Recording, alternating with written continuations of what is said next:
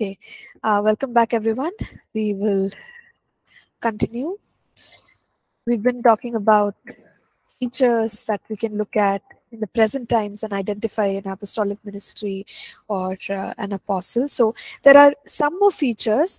I'll go over this particular chapter and then as we look at the section ahead, we have about 60 trends uh, that are set to emerge right? The apostolic uh, uh, within the church and this has been compiled by someone known as john eckhardt uh, so he repeats some of the features that i've already spoken of. What i'm going to do is i'll take us through the current set that uh, i'm discussing and then when we come to these 60 trends there i will only touch on the uh, newer ones which I've not mentioned so far. That way, uh, I'll go over it. I don't know, it might take 15 minutes, 20 minutes or something, but if we finish, we'll just stop with that.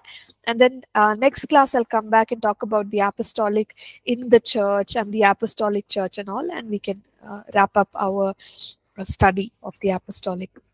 So continuing uh, in chapter 4 here i said that you know the apostolic is uh, pioneering uh, causes us to have a lasting foundation uh, it comes up with uh, good plans and then new plans and also execute those plans well guard doctrine uh, very careful to establish people in the word of god activate and equip believers for spiritual ministry.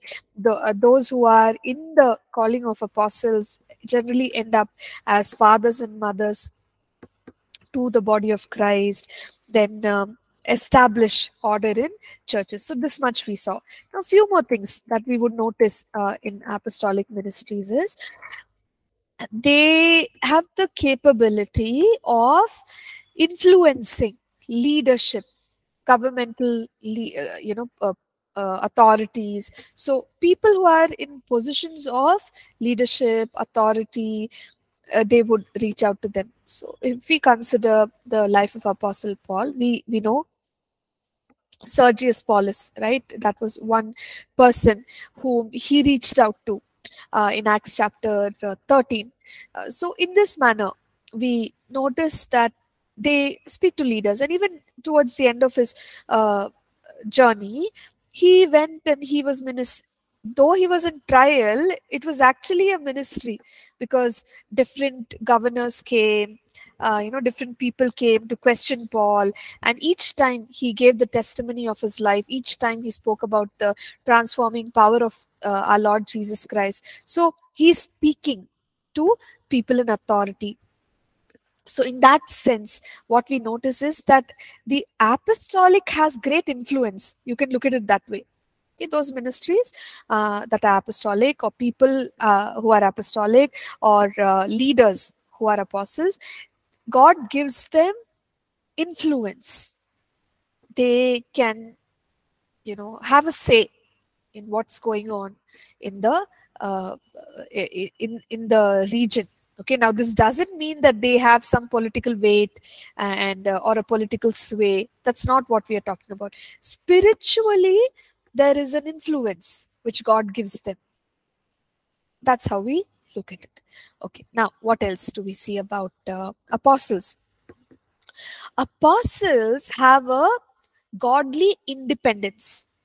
Okay so when we study the life of apostle paul he states in Galatians chapter 1, he says, Look, I uh, did not have much time like to spend with uh, the apostles in Jerusalem. He did not have. In fact, he went, I think, he writes that only 15 days I went and I spent time with Peter. That's about it. And in those silent years, he did not go and get groomed under the apostles. So in a way, God shaped him by himself also. But that was fine. He never felt uh, that something was wrong uh, or that you know he really needed to be a part of uh, a leadership group, and that's how he would ga gain his um, affirmation and validation. He was okay to be independent. So sometimes we find that apostles are like that. They don't mind now if they are part of a group well and good but if they are not it's like they can can boldly rise up even if they are alone and get the work done. That's the kind of people they tend to be the apostles. So there is a godly independence. It's not like an arrogant independence or a proud independence but it's a godly independence. They don't mind. They can go alone. They can get the job done. So that form of confidence and boldness also comes with the apostolic anointing. Then what else? Supernatural manifestation of signs, wonders, miracles. Could somebody please read Second Corinthians 12 and verse 12?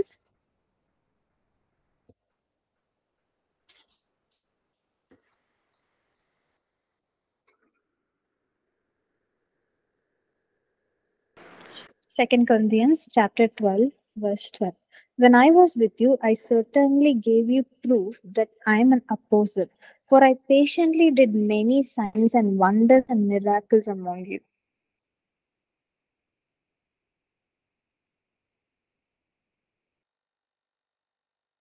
So we notice that that you know he is saying it's part of the evidence of being an apostle also.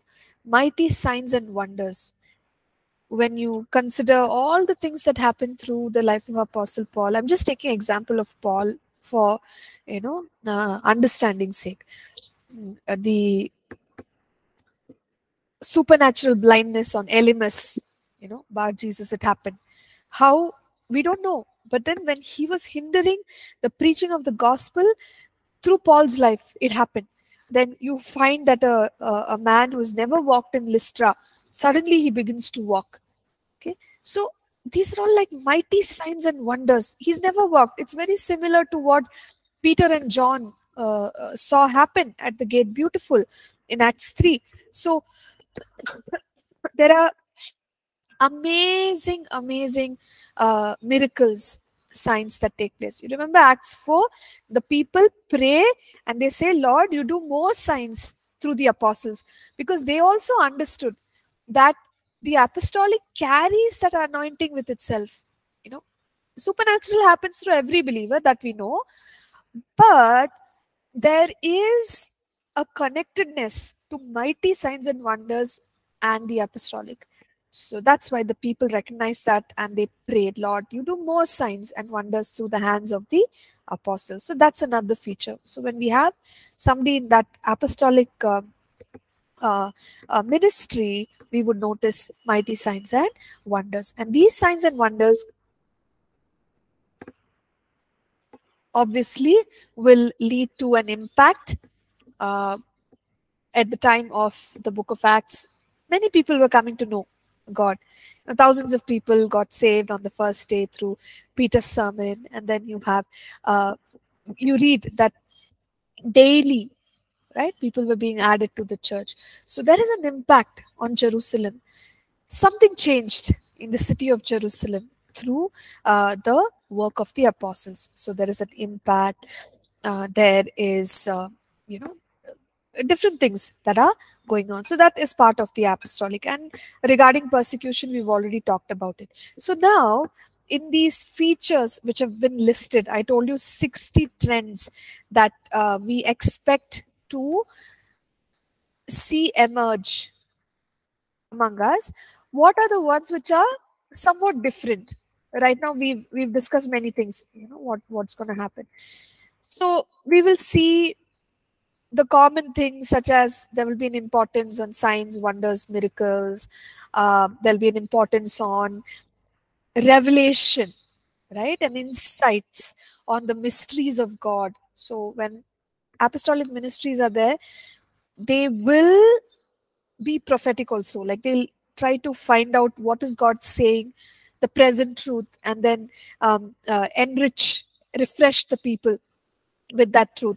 And the moves of god they'll steward the moves of god okay in a, uh, a powerful way. So that's that is something that we are seeing uh, uh, happen and we will see happen even in the days to come then extension of of the ministry new territories that we've already discussed right and uh, uh, spiritual warfare. I think spiritual warfare is your next point here, where uh, you would find that the apostolic, because it's about entering new territories. So, whenever we are talking about establishing a church or establishing the kingdom of God in a new territory, Satan will not be happy about it. So, then a feature of entering in has to be accompanied with spiritual warfare. Without spiritual warfare, pioneering is very difficult. So, in the apostolic, there will be an emphasis on prayer. Prayer, believers' authority, spiritual warfare. So, when all these things are together with your pioneering, getting ideas from God, implementing the ideas, it works. Okay, because it's a spiritual uh, task that we are undertaking. So, part of the apostolic anointing is also spiritual warfare, understanding of how to battle uh, our, our adversary, the devil. So, that also is another feature of the apostolic. Okay, here's the next different thing.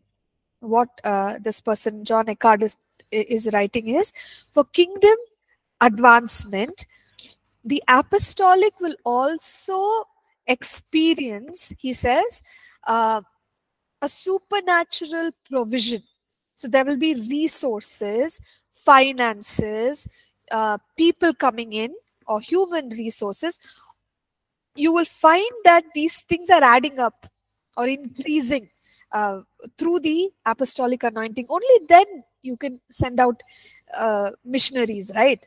you need the you need money you need people trained people and so in an apostolic setup you will find that these things will increase and that's how the ministry will be able to develop so that's another it's a different thing different feature that uh, we can expect and uh, he writes here a spirit of faith so, in general, when we consider apostolic anointing, we know that it is associated with boldness because it's about doing new things.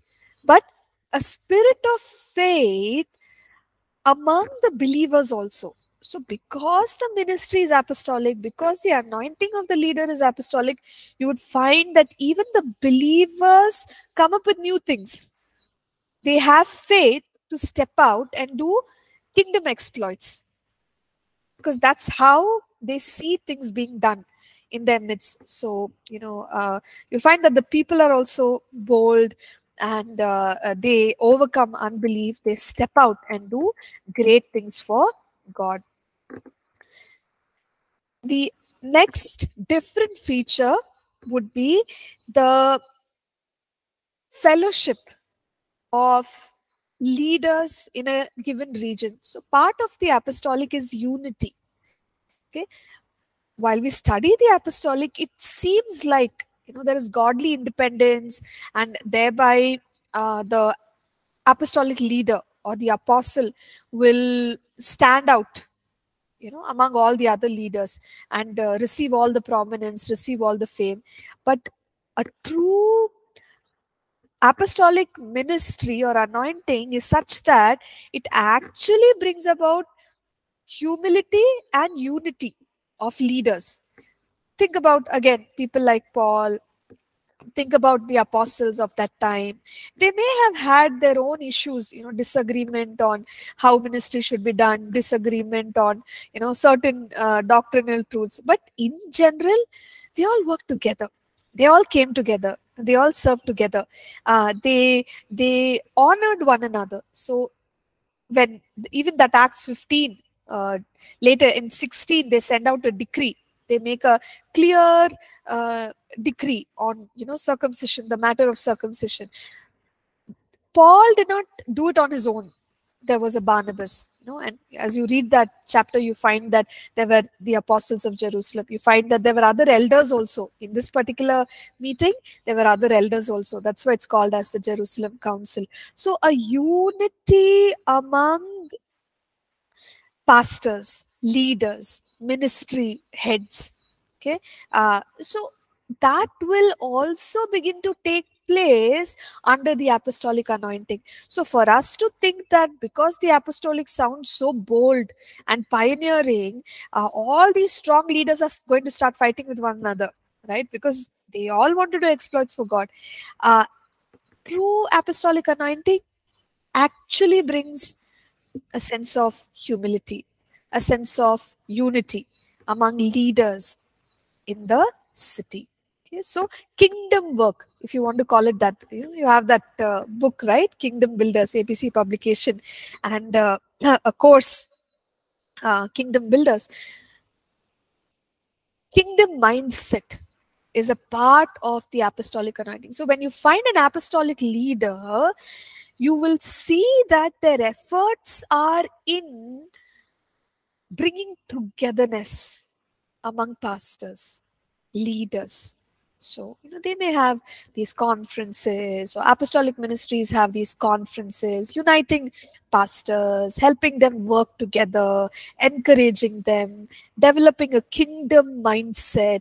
So, that is all part of the apostolic ministry.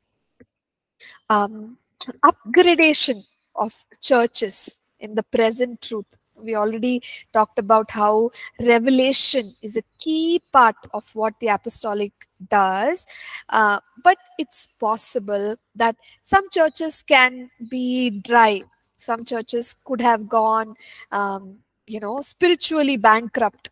Uh, but the apostolic anointing brings refreshing. So even as the ministry or the leader reaches out to churches, what happens? Maybe they don't know the present truth, they have not felt the outpouring of the Holy Spirit, but this ministry will bring it into dry churches as well. So you can see uh, or, uh, what we are calling as an upgrade or a revival or a reviving of, of churches you know that are connected to the ministry. So uh, refreshing uh, and uh, reviving then reformation reformation and change because the apostolic is connected with newness right? Newness boldness creative ideas. Um, you would find that changes or impact is what actually happens through the models of ministry that uh, uh come out of it. Reformation is transformation. So you can expect a city transformation i'll just give you one example. We think of working among youth and uh, some of the normal ideas are let's have a youth meeting. Let's uh, invite people on a saturday. That's a normal way of thinking. But when you think in an apostolic way you think how about we go to the college campuses? How about we get permission? You know maybe if it's legally permitted why don't we go there how about we impact hundreds and thousands of students at the same time? Uh, so creative ideas how can we impact them? How can we bring in you know godly principles to them? Maybe we can create an app. Maybe we can uh, you know uh, publish uh, something or we we get into nowadays you have new media right? You you have uh, ai you you have uh, gaming. Uh, so we are thinking of impacting tens of thousands of young people. Not just a saturday meeting but you see that's an apostolic mindset. Because what are we looking at? We're looking at reformation. We're looking at um, you know a large impact. We're looking at transformation city transformation uh, national global impact. Okay? Uh, so the apostolic thinks very big. The apostolic thinks very you know impact oriented thoughts so that's the difference. That's the difference between just a pastoral kind of a, an anointing and an apostolic anointing. Reformation change new models new ways. How can we do this in a new way? Uh, right? So like even i think apc bible college it's it's very apostolic because here we are people from different countries connecting. So through each one of you wherever whichever region you come from some part of india or some part of the world you are becoming a carrier you know, of that of uh, the fire of god the revival and you impact your nation you impact your region. So what is this? It's actually a new model. Otherwise how would we think in a standard way? We, we would think yes we want to equip people. Let's bring uh, 20 people. Let's teach them the word of god over 3 years. But the new way is now technology is available.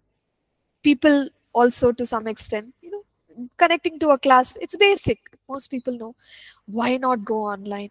Why not take it globally right? So the apostolic way of thinking change impact uh, reformation transformation uh, that's very different compared to a pastoral way of thinking. Okay moving on. What else do we see?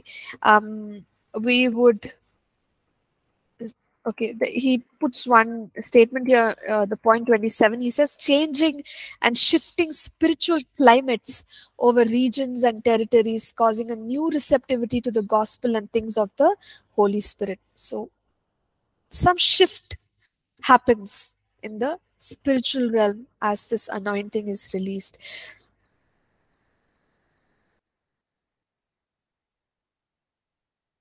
think all other points here we have already covered. I will just uh, uh, give it to you for your, you know, um, study and understanding. So these ones are not so different from what we have learned so far. It does talk about social justice, new ways of doing outreach, street ministry, um, uh, and uh, making an impact of for the church in the city as well. Okay so uh, i will just stop with that for today. Uh, any thoughts any questions any practical discussions we can have? Let's do that and then we will move on uh, next class. We'll just touch a little bit about uh, yeah apostolic impact and stop in the next class. So yes uh, jeffina you had something to ask? Yeah. So uh, we talked about uh, apostles going to new places and uh, extending the kingdom. So I just want to know. Uh, so we we know that missionaries go on uh, new places mostly, as far as I have heard. Um, missionary work is very different. They go into a complete new place. Uh, sometimes they go into a complete new language. They learn the language and then something very different so does it mean that every every missionary is an apostle and i have one more question like uh, can we desire to be an apostle like i mean i know it's a very very very big thing but uh, can we have that desire and can we pray like that like uh, like I want to be an apostle or, uh, or else uh, develop me uh, in a way of an apostle or something like that. Can we have that desire uh, and these are my two questions. Yeah. Okay, thank you, Jeffina. Thank you for that. So you see, every apostle is a missionary, but every missionary is not an apostle. Okay, because missionary is going out and entering new territory, but they may not have the other features of the apostolic. So you can be a missionary, but you need not be apostolic for that. You can just go to a place uh, to share the gospel. You can just go to a place to teach the word of God. That makes you a missionary. Now, an apostle is much more than that. That is why I said every apostle is a missionary, but then every missionary is not an apostle. Does that help? Okay, fine. So we've answered the first question. Second question, can you come again? So uh, I just want to know, can we desire to be a apostle? Okay, so the answer is we can't because these are these are uh, these are not grace gifts. These are offices. So when we read Ephesians chapter 4, verses 11 through 13, we see here that uh, Christ Jesus, he gave gifts to the church. the apostle, the prophet, the pastor, the teacher, the evangelist. So, for the equipping of the saints uh, for you know the work of the ministry. So, it very clearly tells us that it is by appointment. Unless we are appointed or handpicked by God. For example, if you take uh, Paul uh, on the road to Damascus, Ananias, God speaks to Ananias and he says, I, This man, he is going to stand before kings. He's going to. So, in God's mind, God has already decided this is an apostle. That is a. But can I be apostolic? I can. That's what in the next class I told you. We can be apostolic, but we cannot be apostles unless we are called by God. Yeah, so that is how it is. Sure. Thank you. Good questions. So, yeah. Uh, any other questions?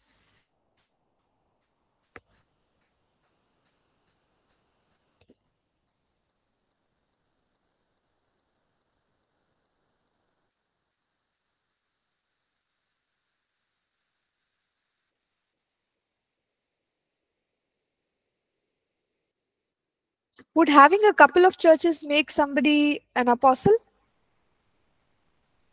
Let's imagine that, okay, I have planted five churches. Am I an apostle?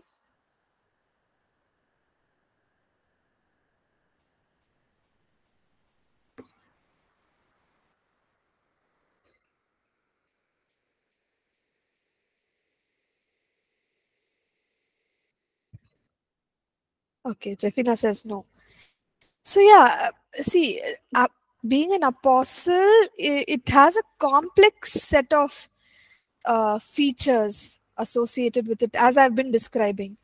Uh, so one has to be like you know that that uh, spiritual energy is very different. So just having multiple churches also would not make somebody an apostle. You you can be a you know great pastor, and you have uh, a good number of churches, but maybe time can tell if you see that consistently leaders are being raised up they are being well equipped in the word the doctrine uh, well instructed and the churches are multiplying over time yes we could we could look at all this and say oh wow you know looks like very apostolic seems like this person is an apostle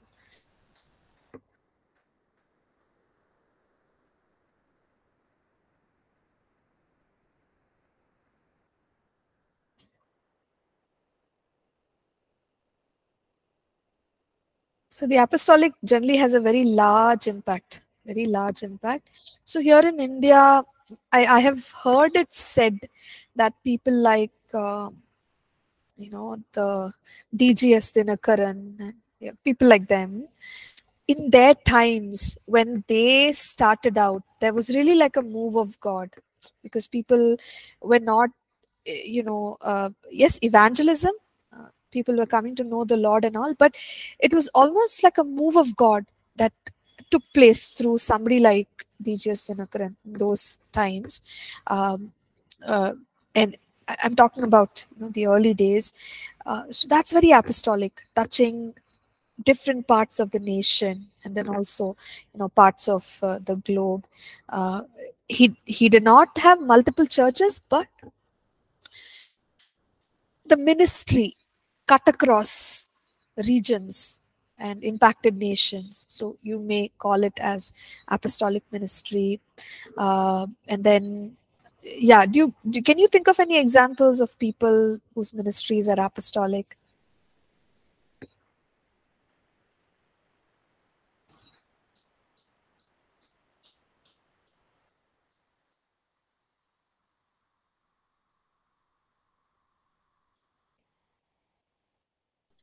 I think now there are a lot of uh, um, preachers calling themselves as apostles, so it's quite yeah. challenging to say their names or not. So, huh.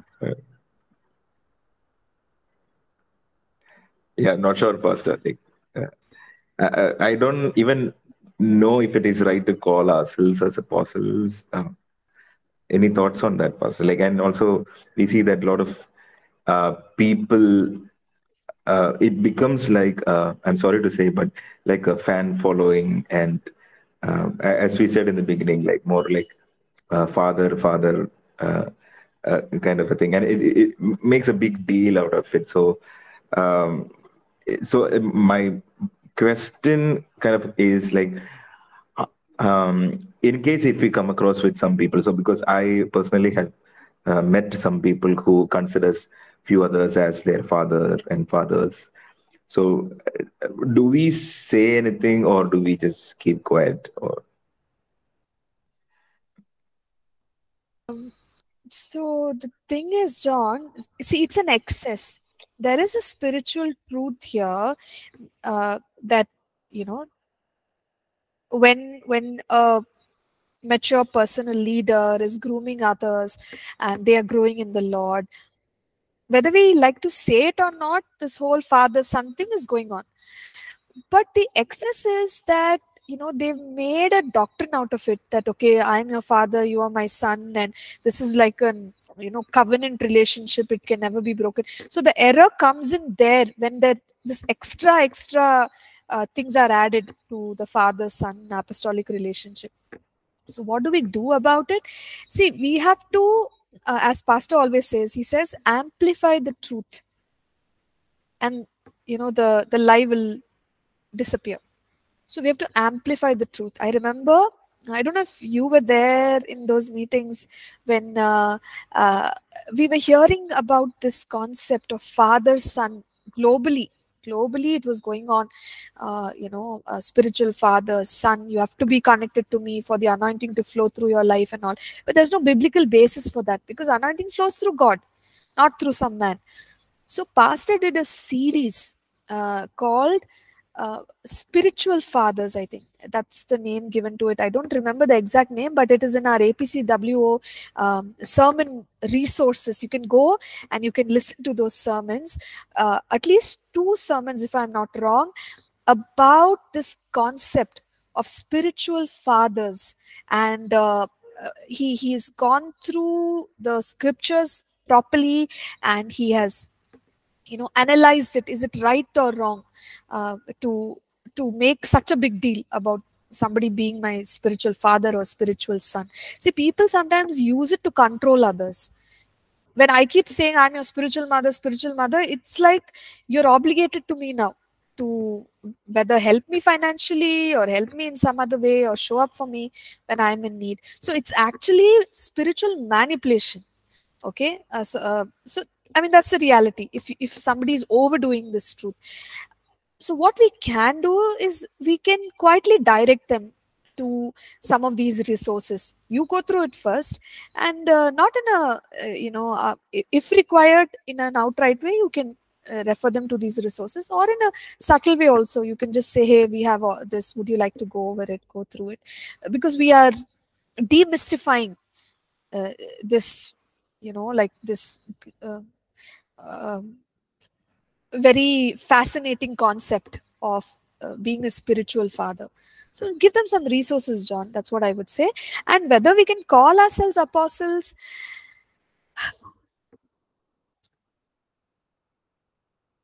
see, Paul said that I am an apostle uh, appointed by God. He introduced himself like that sometimes when I think there was an issue of acceptance because they people accepted Peter better uh, than Paul. I don't know. I think it's it should be a very rare thing, John. Uh, and hopefully, I mean, we are talking about Paul, mighty Paul, and all. But in today's times, uh, I think this is my way of looking at it I, it might take a lifetime to figure out whether somebody is an apostle. So you might have to wait for 30 35 years of ministry for you to understand that you're doing an apostolic work and for people to understand that you're doing an apostolic work. So after 30 years if you want to say oh apostle but the nicest thing will be if others affirm you with that title and you don't put it you know doctor apostle prophet reverend so and so it, it it's very uh, what can i say it's not at all a humble thing to do to name myself an apostle so yeah my thoughts yes pastor yeah thank you for the insight yeah yes. sure sure sure Yeah, thank you, thank you. Yeah, but I think nowadays a lot of people are called apostles. I don't know how. Uh, what, Jeffina? Oh, okay. She's saying there are many uh, Instagram Instagram accounts which have names Apostle so and so. See, again, another thing is this understanding of what is apostolic also people don't have. Like I myself, I learned it when I, you know, began to study all these things. And I'm sure even all of you have been enlightened uh, in, in the last couple of weeks. So that's another problem. We don't have enough teaching on the apostolic. So obviously people don't understand what it means. They just use that word apostle and put it against their name.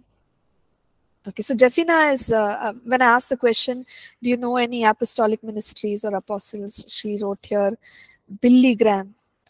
Billy Graham. Yeah, I could consider, uh,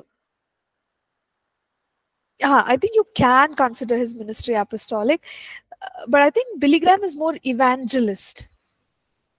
From what I can see, I feel he's more evangelist because I don't know if they raised up churches. It was more about getting people saved.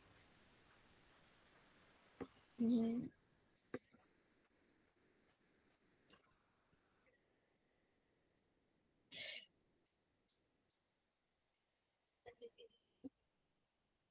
Okay, okay. He was apostolic and he, was uh, an evangelist and he was apostolic.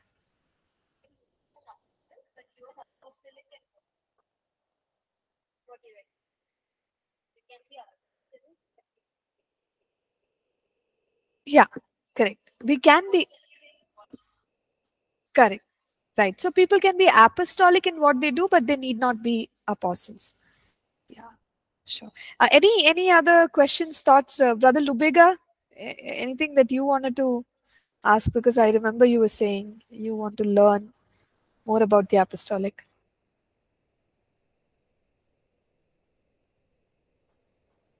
Pastor, what is confusing these days Uh huh.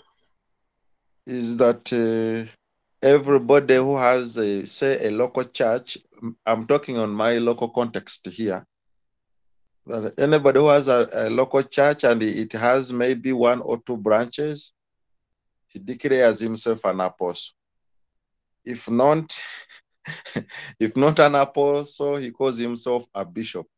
Now you find bishops of 21 years, you find bishops of so but me, I think just as you've said, a person to, should be called an apostle, maybe through the laying of hands when the professor comes and they declare him, say, an apostle, or through the characteristics. When you look through what an apostle does, and you see that you are you are in that line, it can take a lifetime. It is not easy if you just wake up one day and you add something on your name that you say that I'm now Apostle Collins.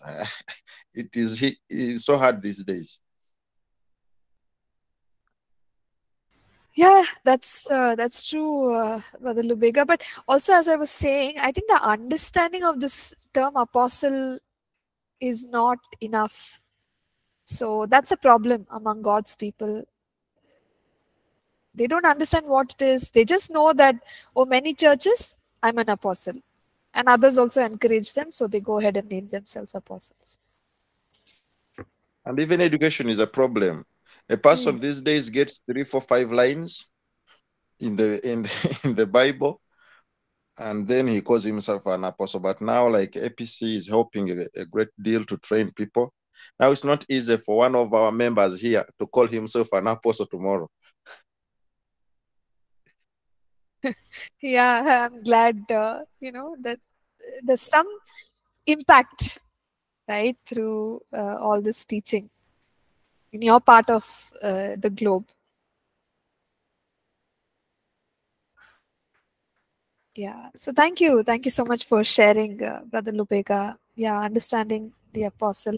So nowadays, if you go and you look up, there are many networks in ministries which have networks of churches uh, that is very apostolic so back when like i was a kid i've not heard of multiple churches multi-site churches and all that. But nowadays that concept is very common. Uh, one ministry has multiple branches. They live stream their services across uh, you know they have uh, campus pastors.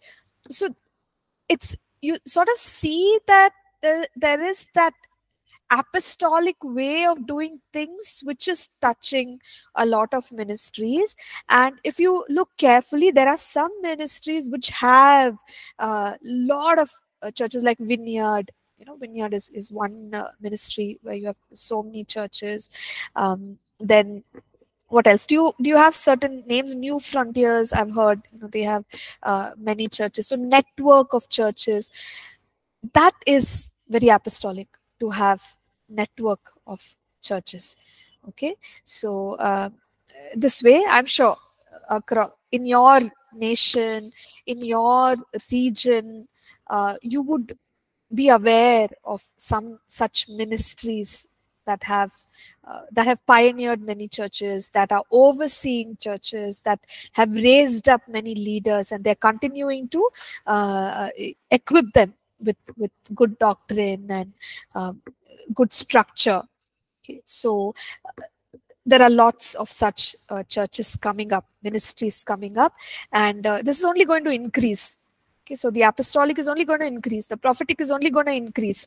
So that is a given uh, because we are living in those times where God is strengthening uh, the fivefold ministry offices. You will see, while we are feeling sad that people are not recognizing uh, the apostolic office, we will also see true apostol apostles and uh, begin to thank God for them. So all this is expected. Okay, so let me just stop here. Very good questions, practical questions. I'll also try to bring you some, you know, names and all that in the next class when we close off. But you come back to me with some more questions. I think that will really help. All right. Uh, so we'll close now. Let's pray. Uh, could somebody please lead us in prayer? I know we prayed for Brother Isaac's family, but I just feel like we need to pray some more. So please pray for uh, Brother Isaac's family. Uh, we've all heard the sad news that he went to be with the Lord. Uh, so, yeah, please, somebody lead in prayer. Let's pray for Isaac's family too.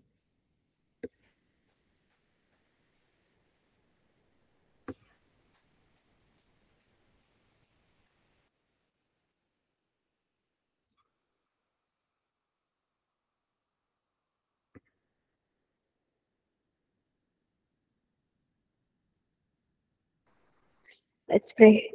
Yeah. Dear Heavenly Father, we come to you under the name of Jesus. We thank you for this day. We thank you for everything that we learned today, God. God, I pray that uh, whatever we have learned, uh, we will put it into practice in our life. And we thank you for uh, calling us, Jesus. Help us to understand uh, more about our calling. Uh, help us to walk in your ways. Help us to not to dilute the doctrine in any way when we go out and teach and preach, Lord. Uh, fill us with your wisdom and knowledge. Whatever we have learned, help us to put it into practice and help us to understand more about this apostolic ministry, Jesus. And God, right now I pray for Brother Isaac's family. We thank you for his life. We thank you that he was an amazing student. He was an amazing slave of Christ. He worked for you. We thank you for his life, Jesus. Right now we pray for his family, Lord. Strengthen them, Jesus. In the times of trouble, you are an everlasting help, Lord. God, we believe that you will be their everlasting help right now. We don't know what are the struggles. We understand their pain. We take part in their pain, Jesus, but we just pray that you will comfort them. You will strengthen them. We pray for the ministry that they are doing, Jesus, that it won't stop, but they will be strengthened much more to do more for you, Jesus. You comfort them, Lord.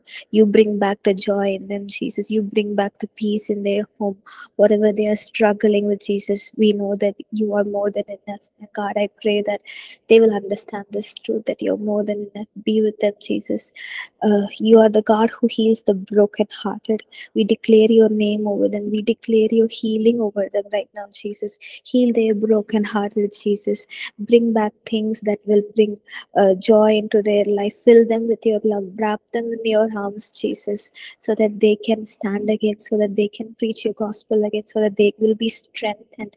They will keep moving forward in this life, knowing that you are enough, knowing that your love will cover everything, knowing that greater days are on the way, knowing that joy is on the way, knowing that Jesus is enough. Be with them and guide them, Jesus. We pray for them. We ask you to heal them right now, Jesus. What else we can do as we are partaking in this prayer, God? We thank you that you are touching them right now. You're healing them right now, and you are bringing back the joy. We know, God, you're a God who never leaves, never forsakes. We know, God, you're a God who never leaves us during the times of trouble. We believe that you are with them. We know that you are guiding them right now. We just pray that you heal them. You heal them, Jesus. You strengthen them and you comfort them. We love you and we honor you. In Jesus' name we pray. Amen. Amen. Amen. Thank you. Thank you, Jeffina. Thank you, everyone. God bless you. Let's connect for uh, next week's sessions, which will be our last class. And uh, yeah, looking forward to that. Thank you so much. Have a blessed day. Bye for now.